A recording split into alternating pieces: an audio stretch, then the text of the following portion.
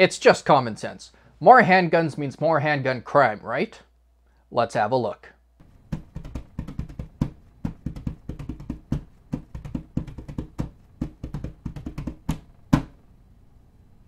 There's a lot of background and setup to this video, but if you're just looking for the core stats, numbers, and graphs without the need for context or sources, you can skip ahead to this timestamp.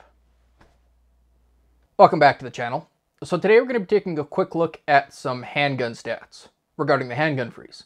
Over the last few months, I've been compiling a lot of information and going through a lot of court cases and so on with the intention of making a sort of C21 versus the Charter video or video series. That video project's still quite a ways off. Uh, it's, it's a lot of work to do that.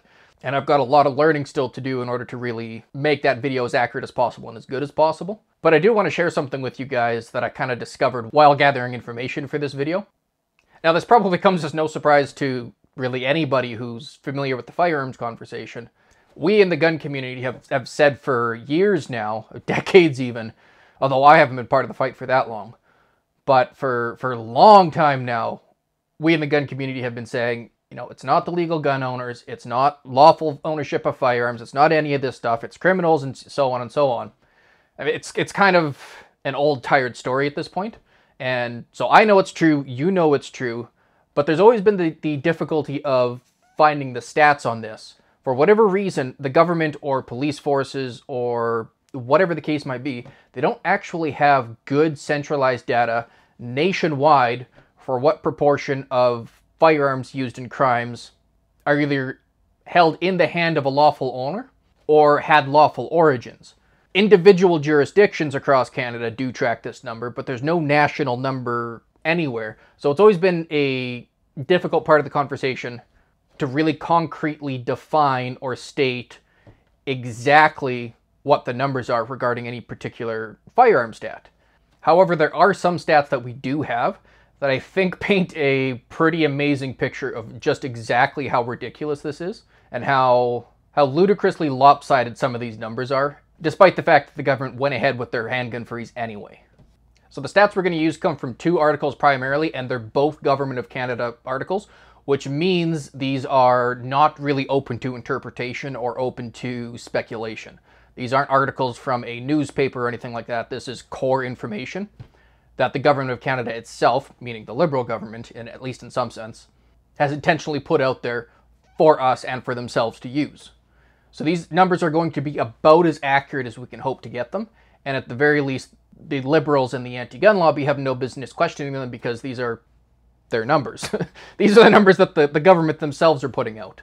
So this is the first article, and this shows us exactly how many handguns are purchased every year over the last decade. If you're familiar with this conversation, if you're familiar with C21, Marco Mendicino regularly, during the process of C21 before he got fired for lying so much, but during the process of C21, he regularly cited, and a number of other government officials regularly cited, 50,000 handguns per year, or 45,000 to 55,000, or 40,000 to 60,000. Now, it is worth noting, though, those numbers are for handgun registration certificates. That's new registrations. That's not necessarily new handguns. So when they say 45,000 to 50,000, that's the number of, of registrations that go through, not the number of individual firearms that are brought into the country. They never actually technically disclose that number, but they do give us enough information to generate that number. And they tell us this number in this sentence here. It says in 2020, there were approximately 1.1 million registered handguns in Canada, with 1 million registered to individuals. This represents a 74% increase since 2010. With those two numbers, we can figure out what the yearly increase has been over the last decade. So you take your 1.1 million and you divide it by 74%, or divide by 1.74. And you get a number of 632,184. That would be the starting point at the end of 2010, approximately, roughly speaking. Uh, it is approximate numbers based on their numbers, but that's going to be pretty close to what it was. And then from here, it's pretty simple math. You take your 1.1 million, you take out your 632,000, and then you're left with the change over a 10-year period, and you divide by 10 which gives us a yearly change of 46,781. Now, being that these are based on approximate numbers, and because I like simple numbers, I'm actually going to round that down to a nice even 45,000. It makes calculating the rest of the numbers just easier and simpler. And by rounding this number down, since these things are based on approximate numbers, The smaller this number is, actually, the better the Liberals government's argument is, and the better the gun control lobby's arguments are. So I'm going to round in their favor here to bring these numbers down to just an easier round 45,000. Plus, the numbers are originally based on an approximation, so it's entirely possible that this is actually the correct direction to round it. But, but whatever, we're calling it 45,000 per year. And it's worth noting, this is actually the individual number of handguns in the country that has changed over that period of time, not the registration certificates. For example, if somebody sells a used firearm to their brother, that's a new registration certificate, but that's not a new handgun. That handgun just went over there. So this is 45,000 new handguns per year, roughly speaking, every year since 2010. And our second source of information actually comes from Statistics Canada itself. This is an article they put out earlier this year on January 30th, and it's titled Firearms and Violent Crime in Canada 2022. So table four, it says police reported firearm-related violent crime incidents by type of firearm between the years 2009 and 2022. Now, I think a lot of you can probably see where I'm going with this. It's always been an issue in Canada, especially around the gun control conversation, that we've never really had any concrete numbers regarding the actual raw data for exactly how many firearms there are out there, exactly what percentage of them are used in crimes, exactly which percentage of them are used by licensed firearms owners like myself as opposed to just criminal activity, you know, how many of them exactly are acquired through international smuggling or trade, especially from the US. Uh, you know, all, all of these things. There's just never really been any good concrete numbers. And I think a lot of that is done intentionally. But a lot of it is just those numbers really are difficult to nail down. That's that's just the reality of it. Even if you put your best foot forward, it is difficult to do. Some jurisdictions do actually track this stuff per jurisdiction, and they do have pretty good numbers, but there's no national Canada-wide database on this information, and that's something that always comes up. But what we can calculate is the change from year to year. That's actually very easy to calculate. Now, being that this video is about C21 specifically, I am going to omit one of the years on this chart. I'm not doing it to cherry pick my numbers although it might look that way, so I do want to explain why I'm doing this, but I'm going to eliminate the year 2022, and the reason for that is not because it's a higher year or anything like that. As you can see, it's, it's 7,326 incidents. That's quite a bit higher than any of the other years on this chart. The reason I'm eliminating that is because Bill C-21 was announced in May of, of 2022. So the information they were operating on could not have possibly been any more recent than, than 2021 because 2022 wasn't even done when they announced this information, so there's no possible way they could have had this year in order to calculate their numbers. But I am going to use the rest of this chart, which is as far back as this particular article goes. I could probably find more ancient information and build, you know, a bigger, larger database, but that's 12 years. That's a pretty decent sample size so that I can at least just show you guys just kind of how, how insane this gets. I am actually going to break down this chart probably in more detail once I do my full C21 versus the charter video. But for today, we're just going to take a look at you know, start to finish, kind of broad numbers, and just really paint a picture of how ridiculous this is.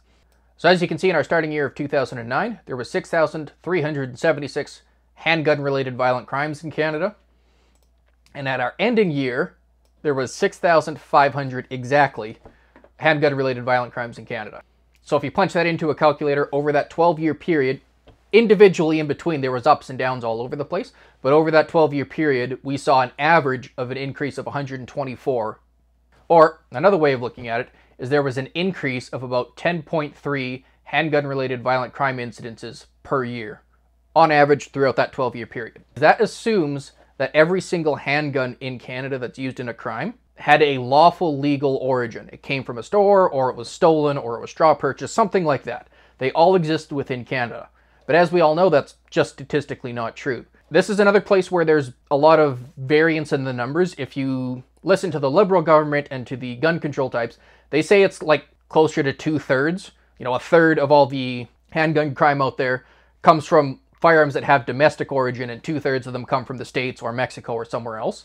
But if you listen to the police and pro gun people and the CC and things like that, and Pierre Poilievre himself has even said that it's 90% across Canada, 90% of all handguns in Canada they come from foreign sources. They don't have a domestic origin. They're not produced or sold or traded or anything here in Canada.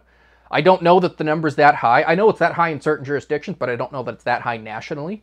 So from here on out, I'm going to be putting three numbers on the screen. I'm going to have a 10% section here, a 20% section, which is the number I'm going to use, and a 30% section for to sort of keep it fair so that you can use whichever section you want. But as you're about to see, it really doesn't matter which section you choose because it, it gets ridiculous. So if you factor in that only one in every five handguns that are used in Canada in the commission of a crime have a lawful source, then our increase of 10.3 per year drops to a whopping 2.06. What this means is that the C21 handgun freeze can only possibly stop, at most, roughly two handgun crimes per year. It is worth noting that this is two crimes every year and not two handguns. A lot of times, a handgun can be used by a single person in the commission of several offenses before they are caught or stopped. So the reality is that it's actually less than two handguns every year. But because we can't know exactly what that number is, and for the sake of simplicity, we're still going to call that two handguns every year. And this is again us rounding in favor of the anti-gun argument. So what this all means is that at most, two of the handguns used in crime per year are the direct result of the new 45,000 handgun sales for that year, on average across a 12 year time span from 2009 all the way to 2021, nationwide in Canada. That's just what the facts are. That's the statistical reality of what C21 at least attempts to target. This gets even more ridiculous when you calculate it as a percentage. Now, the, the percent number that I'm trying to calculate here is actually the percent of all of the handguns that come into Canada lawfully and are sold and owned and used by lawful Canadians like myself what percentage of those are safe and what percentage of those end up being used in a crime. Now, it's worth noting when something is used in a crime, that doesn't necessarily mean it was stolen or straw purchased or anything. That can also mean that I go rogue and I decide to hurt somebody. I'm not doing that, obviously.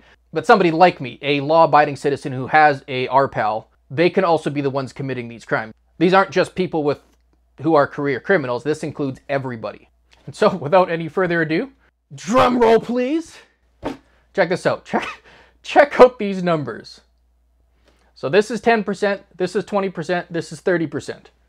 So if we take a look at our 20% estimate, that is every one in five handguns used in a crime in Canada have a lawful origin. We see that the percentage of handguns used that will never ever hurt anybody ever, remember, because this is a yearly difference, is 99.995% of all handguns in Canada over a 12 year period that come into the country every year, there's a 99.995% chance that they will never ever hurt anybody. This is the stat the C21 handgun freeze was specifically targeted at changing. What this means is that 0.005% of all handguns with lawful origins being used in crime was an unacceptable amount of risk that they had to kill the entire commercial handgun market in Canada in order to, quote, keep our streets safe. That is that is insane. Like I, I can't even believe that that's the number you can calculate. Because like we all knew it was high and we all kind of always said, "Oh, it's, you know, 95% or 99% or 99.9%." No, it's it's 2 divided by 45,000 is what it is. And those two also assume that those two crimes either A are 100% correlative to handgun ownership which when you put all of this information onto a graph, you can't make that you can't make that rational connection. And then two, it also assumes that the crimes that were committed with these handguns would just disappear if they didn't have access to a handgun or even just access to firearms. You know, if a guy goes up to a person in the street and, and pulls out a handgun and robs them at gunpoint, the idea that that person won't be able to just have another handgun that they acquired illegally or the idea that they won't just use a rifle or a shotgun or something of those measures because that does happen, or the idea that they won't just use a different kind of weapon, you know, like a hammer or a knife or a baseball bat, just anything. I mean, lots of lots of weapons out there in the world. So the idea that even if you could save those two incidences per year, as as though that would somehow make a difference, realistically, that's not a tangible argument because there just isn't a 100% correlation between firearm accessibility and crime rate. And that's actually really self-evident once you put all of this information onto a graph. So if you take a look at this graph here, we're going to start by putting on the change in firearms ownership over the last 12 years. We're going to call it 45,000 per year every year, even though we don't technically have the numbers for 2009 or 2021. But I don't imagine that the numbers in those years are going to be you know, wildly different than they were during the average of the 10-year span that we calculated in between 2010 and 2020. So if we put all these numbers on a graph, you can see a directly linear increase of handgun ownership over the 12-year period. If you then plug in the 12 separate data points from table 4 in our StatsCan chart, you can see that there is they're kind of just up and down all over the place. But if you look at the start point and the end point, it's basically flat. This graph is entirely to scale, and you can see a pretty dramatic increase in firearm ownership between 2009 and 2021. So if you remember from our first article, they actually said there was a 74% increase in handgun ownership between 2010 and 2020. Now, if you actually include 2009 and 2021 in there, that number actually starts getting pretty close to a doubling. It's not quite a doubling, but it's close to a doubling in handgun ownership over the last 12 years. And yet you can see the start point of, of handgun crime and the end point of handgun crime is basically flat. You've had basically flat handgun crime.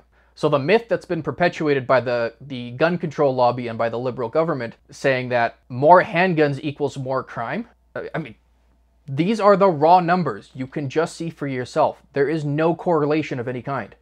Statistically, that's just not factually true. And they always say, you know, it's just common sense. And maybe it is.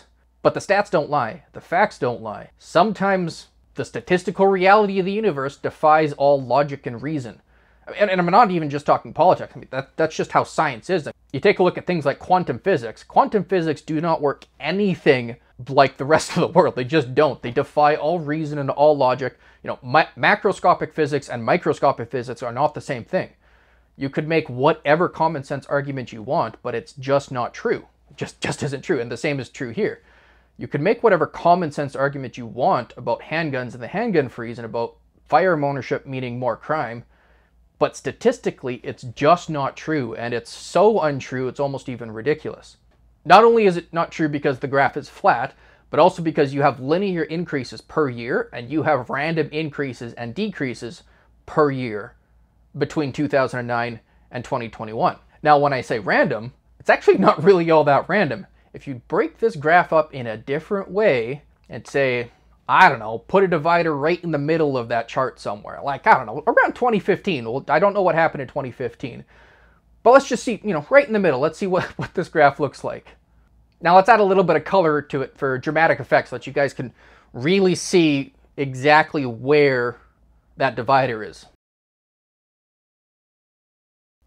Now another way to look at these numbers is to graph them by rates rather than by flat numbers. In all countries around the world, crime has a pretty linear correlation to population size. That's why you always hear about crime being expressed as a crime rate. The rate per 100,000 is usually more indicative of relative crime levels than any flat number is. If we chart this information again using rates this time, our graph looks more like this.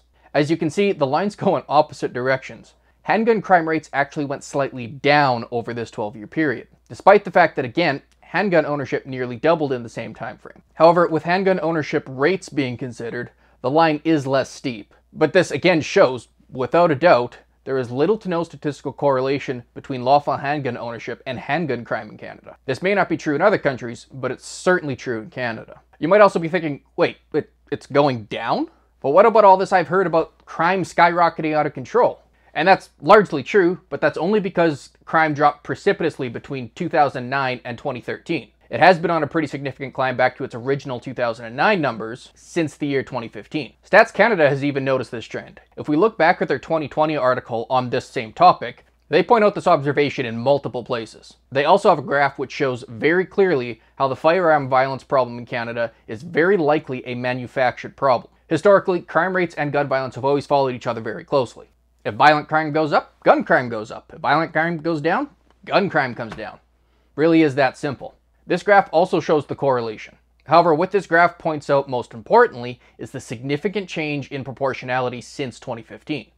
Since 2015, the proportion of firearms used in violent crime has jumped up significantly. And this is very obvious when you look at the graph. You can see in 2015, that marks the first year our blue line, which is our firearm related violent crime, actually overtakes our orange line here, which is all violent crime. You can see in 2015 very clearly that marks a changing point that really flips the status quo. And I wonder what happened in 2015. I don't know, it's a mystery. Now, all jokes aside, this really is no laughing matter. Uh, people are getting hurt by this. Like these, the, it's all well and good to look at a graph and say, "Oh, look how things are going," but these are these are real people at the end of these numbers. They aren't just statistics, which is why this is so important to get this right. It's not just for, for my rights and freedoms and your rights and freedoms, but it is also for the sake of public safety. The government has told us for years now that we need to ban all of these guns for public safety. That's the reason we need to do it. But as you can clearly see, it has no effect. Statistically speaking, that's not a that's not an accurate statement.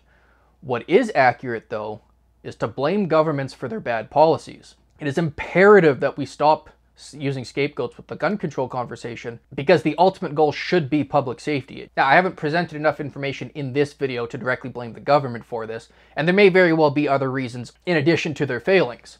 But what you can see here is very clearly this particular government's failings on their approach to, to public safety, and then they're using us as a scapegoat to cover for their failings. And that's that's why this is so important to really put this conversation to bed, and kind of why I'm also doing my C21 versus the Charter series.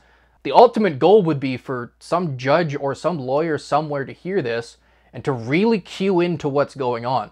Just how, how ridiculous this is and have, for example, maybe even the Supreme Court. I mean, so that's a little lofty for a YouTube channel, but somebody somewhere has to take note of this and has to stop this. I mean, one of the things, remember back in the day, you know, a decade ago during the Harper times, the the Supreme Court put the abortion debate to rest. It's just over. That's not even a it's not even a political topic anymore because the Supreme Court has laid down an ironclad decision regarding abortion. Now, the Supreme Court, in my opinion, should also lay down an ironclad decision regarding firearm ownership, regarding handguns, rifles, semi automatic rifles, magazine capacities. We need to really nail this down so that governments can no longer use it as a debate. It should no longer be a political talking point. Now, whether you think that means we need to have firearm rights in Canada, is something that needs to be enshrined in the Constitution, like a Second Amendment, like the Americans have, or some other answer, or you think it needs to go the other way and ban every single firearm so that we never talk about this again. I mean, either way, the end result would be the same. As, as unfortunate as, you know, if it goes that way, I'm not happy with that. That wouldn't make any sense either, especially with what I showed you in this video. Because then, at, at the very least, it would no longer be a variable for anyone to consider. And then we'd actually have to take a look at the real things that are causing public safety issues, the real things that are causing crime to skyrocket. And it's not the lawful ownership of firearms. It never has been, and it never will be. So, I'd like to thank you guys all for watching. What do you guys think about what I said? I, I was, did you know that, that the stats were this skewed? I mean, like I knew they were bad, but I didn't know they, they were that bad. I kind of, like I had to stop and make this video because that's, that's kind of ridiculous. That's, I am, yeah, flabbergasted at discovering those numbers. Like I've been looking at the numbers for quite a while and I've always seen speculative numbers and slightly biased numbers but there wasn't ever really a good way for me to nail down exactly what they were until I had this idea of comparing yearly increases rather than trying to figure out static numbers. Because if you can calculate the delta or the change in something, you can actually derive some pretty pretty good information, I think, from that. As, as I showed here, that's that's some pretty, I think, pretty damning evidence. And it's not like I was cherry picking my numbers. That was StatsCan's numbers over a 12 year period. I mean, hard to get better empirical data than that. At, at the very least, harder for a YouTuber to get better empirical data than that.